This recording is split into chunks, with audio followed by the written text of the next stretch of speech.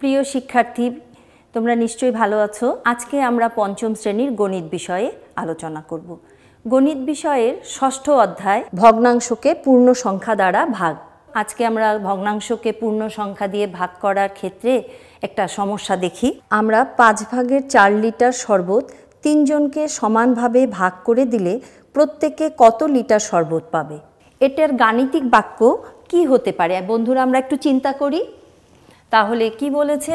পাঁচের চার লিটার শরবত কতজনকে ভাগ করে দিতে হবে? তিনজনকে, তাহলে ভাগ। তোমরা ঠিক বলতে, বুঝতে পেরেছ? পাঁচ ভাগের চার ভাগ তিন।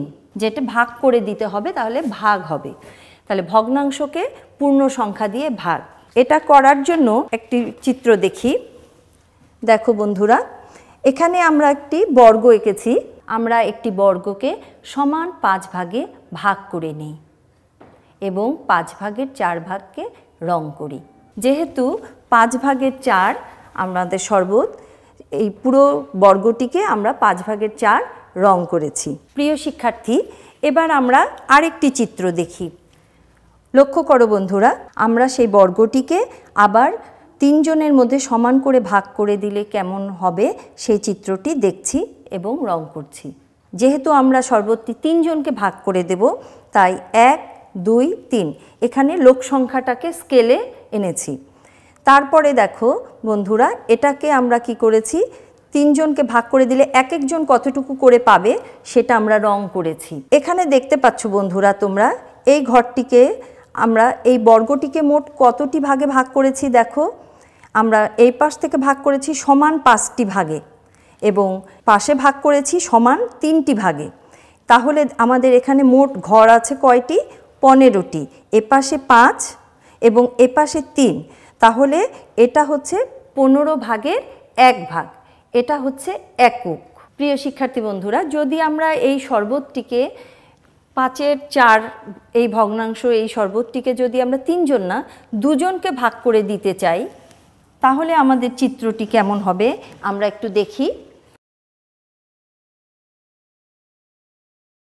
দেখো, ওই বর্গটিকেই আমরা সমান পাঁচ ভাগে ভাগ করেছি এবং দুইজনের মাঝে সমান ভাগে ভাগ করে দিলে কেমন হবে সেই চিত্রটি আমরা দেখছি। তাই এপাশে আমি দুটো ভাগে ভাগ করেছি। তাহলে এক একজন কতটুকু করে পাবে? দেখো, আমি আলাদা করে সেটা রং করেছি। আবার এখানে দেখো, এটা হচ্ছে এই বর্গটিকে কতটি ভাগে ভাগ করেছি? এপাশে পাঁচ, এপাশে দুই। তাহলে এই ঘরটি হচ্ছে দশ ভাগের এক ভাগ। দেখো, এখানে আমি লিখেছি পাঁচ গুণন দুই। এটা হচ্ছে একক। তাহলে এই দুজন হলে কতটুকু পাবে? এই পাঁচ ভাগের চার লিটার শরবত। আমরা একটু সূত্রটা দেখে নেই। কোনো ভগ্নাংশকে একটি পূর্ণ সংখ্যা দ্বারা ভাগ করতে লবকে ঠিক রেখে হরকে ওই পূর্ণ সংখ্যা দ্বারা গুণ করতে হয়।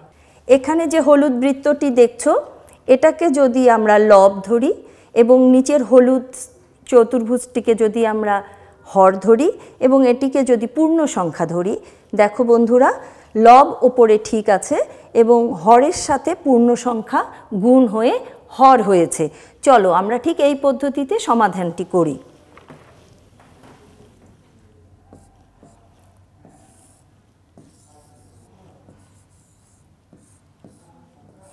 প্রিয় শিক্ষার্থীরা, দেখো, এখানে লব আছে চার, আমি লব চার লিখেছি এবং হর আছে পাঁচ, আমি পাঁচকে পূর্ণ সংখ্যা দুই দিয়ে গুণ করেছি।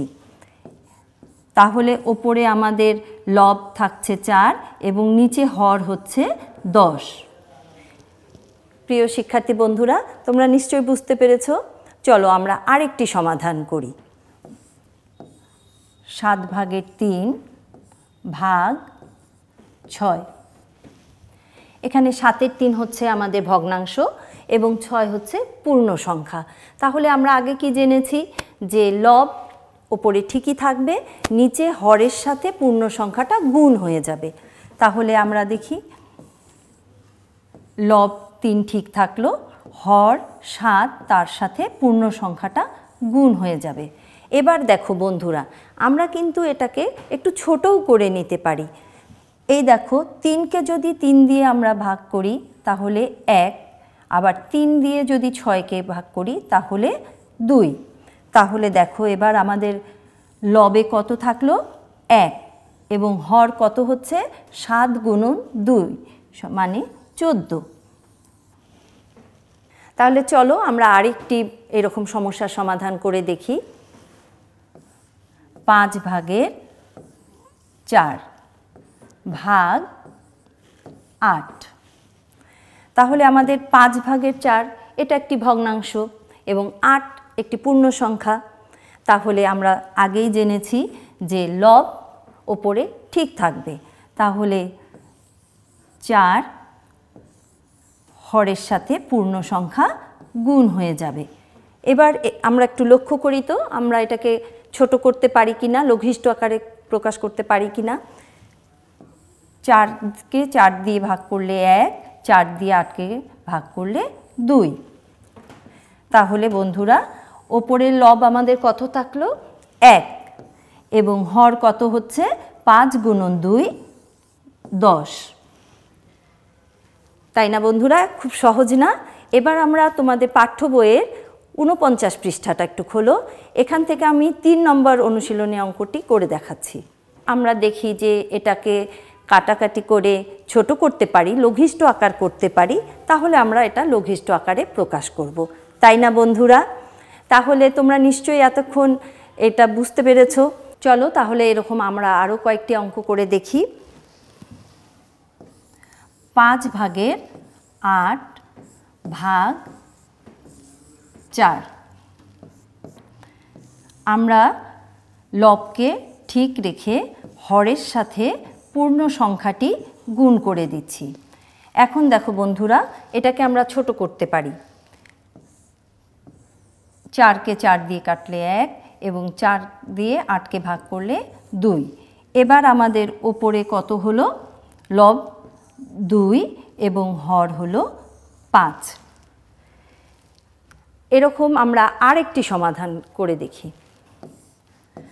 আট ভাগের পাঁচ ভাগ চার। তাহলে আমাদের লব ঠিক রেখে হরের সাথে পূর্ণ সংখ্যাটি গুণ করে দিচ্ছি। দেখো, এখানে লঘিষ্ঠ আকারে প্রকাশ করা যাচ্ছে না। তাহলে আমাদের লব থাকবে পাঁচ এবং হর হবে বত্রিশ। বন্ধুরা এরকম আমরা আরেকটি সমাধান করব। দশ ভাগ নয় ভাগ পূর্ণ সংখ্যা আট। দেখো, লব দশ রাখলাম, হর নয় গুণন আট। লব দশ এবং হর আমাদের অঙ্কটা করার পর এখন আমরা দেখো এই জায়গাটায় এটাকে লঘিষ্ঠ আকারে প্রকাশ করব। দুই দিয়ে কাটছি পাঁচ, দুই দিয়ে বাহাত্তরকে ভাগ করলে ছত্রিশ। তাহলে আমরা কত পেলাম বন্ধুরা? ছত্রিশ ভাগের পাঁচ। ঠিক এই অঙ্কটি দেখো, আমি পাশে আবার একটু দেখাচ্ছি।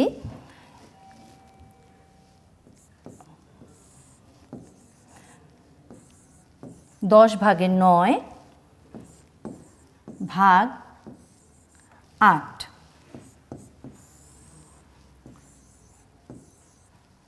লব দশ, নয় গুণ আট। আমরা দেখো, এই আগের সমাধানে সম্পূর্ণ অঙ্ক করার পরে লঘিষ্ঠ আকারে প্রকাশ করেছি। কিন্তু তুমি চাইলে এখানেও লঘিষ্ঠ আকারে প্রকাশ করতে পারো। দুই দিয়ে কাটলে চার এবং দুই দিয়ে কাটলে পাঁচ। তাহলে আমাদের লব থাকল কত? পাঁচ। এবং হর হলো কত? ছত্রিশ। তাহলে দেখো বন্ধুরা, আমরা দুইভাবেই লঘিষ্ঠ আকারে প্রকাশ করতে পারি। অঙ্কটি শেষে এসেও আবার দুই নম্বর লাইনেও আমরা কাজটি করতে পারি। চলো এবার আমরা গণিত বইয়ের উনপঞ্চাশ পৃষ্ঠার একটি সমস্যা সমাধান ভিত্তিক অঙ্ক করি। আমাদের গণিত বইয়ের উনপঞ্চাশ পৃষ্ঠায় তিন নম্বর অনুশীলনের অঙ্কটি দেখো।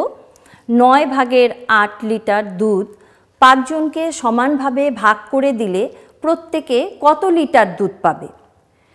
নয় ভাগের আট লিটার দুধকে আমরা কতজনের মাঝে ভাগ করে দিব? পাঁচজনের মাঝে।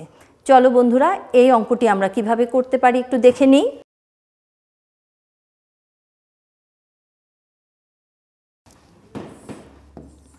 নয় ভাগের আট লিটার দুধ।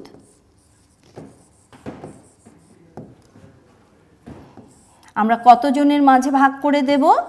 পাঁচজনের মাঝে ভাগ করে দেব। এখন দেখো, নয় ভাগের আট গুণ পাঁচ লিটার। তাহলে এক একজন পাবে এত করে। এবং এখানে আমাদের লঘিষ্ঠ আকার করা যাচ্ছে না। তাহলে আমরা পরের লাইনে চলে যাব। লব আট এবং হর পঁয়তাল্লিশ লিটার। তাহলে আমরা যদি পাঁচজন বন্ধুর মধ্যে নয় ভাগের আট লিটার সমান ভাগে ভাগ করে দিই, তাহলে আমাদের এক একজন পাবে পঁয়তাল্লিশ ভাগের আট লিটার। বন্ধুরা, আজকে আমরা কি শিখলাম? ভগ্নাংশকে পূর্ণ সংখ্যা দ্বারা কীভাবে ভাগ করতে হয়?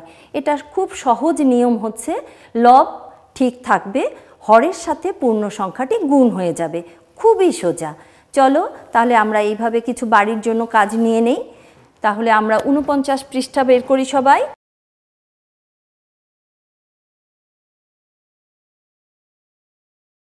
এছাড়াও আমাদের কিন্তু বাড়িতে নিয়ম মতো যে কাজগুলো করতে হবে, সেটা কিন্তু সব সময় করবে। এবং বাংলা এবং ইংরেজি হাতের লেখা লিখতে কিন্তু ভুলে যাবে না। প্রতিদিন একটু একটু করে অঙ্ক করবে। তো সবাইকে অনেক ধন্যবাদ ভালো থাকবে।